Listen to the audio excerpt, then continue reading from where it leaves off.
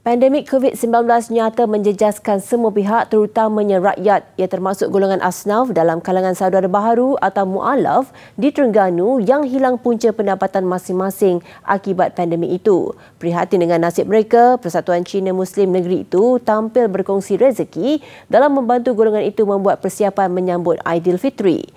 Kegembiraan saudara baharu itu dikongsi kepada wartawan Muhammad Ishak Abdilangah. Jam 1.30 tengah hari semalam melihat pasar raya Sabasun ini riuh dengan tawa 20 saudara baharu yang sibuk berbelanja untuk persiapan hari raya. Masing-masing diberi 120 hingga 180 ringgit untuk dibelanjakan. Sekali ni kita bagi uh, sumbangan. Kita bagi ajak mereka datang supermarket untuk ambil makanan uh, yang perlu, perlu ada, ada uh, masalah kewangan kita bawa 20 orang sini untuk mereka ambil barang dan kita akan bayar.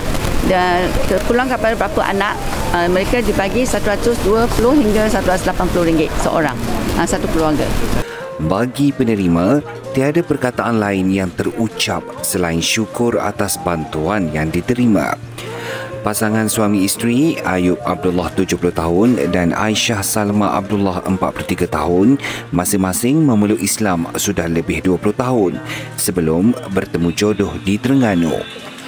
Sejak pandemik COVID-19, pendapatan berniaga secara kecil-kecilan pasangan itu tidak cukup bagi menampung keperluan seharian mereka. Alhamdulillah kepada Allah SWT sebab salah satu rezeki daripada Allah untuk saya hari ini dating bagi saya beli barang selama 4 minggu. Setiap minggu eh, setiap hari Rabu setiap minggu dalam satu bulan tu 4 kali eh, empat kali lah eh, beli barang basuh jadi daripada situ saya kata satu bajet kita jimat sikit untuk kita untuk perayaan.